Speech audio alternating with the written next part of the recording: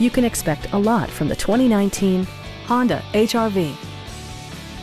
It features a continuously variable transmission, all-wheel drive, and a 1.8-liter four-cylinder engine. It's equipped with tons of terrific amenities, but it won't break your budget, such as remote keyless entry, one-touch window functionality, a tachometer, a trip computer, rear wipers, and much more. Audio features include an AM-FM radio, steering wheel mounted audio controls, and four well-positioned speakers. Honda also prioritized safety and security with features such as head curtain airbags, front side impact airbags, traction control, brake assist, ignition disabling, and four-wheel disc brakes with ABS. With electronic stability control supplementing mechanical systems, you'll maintain precise command of the roadway.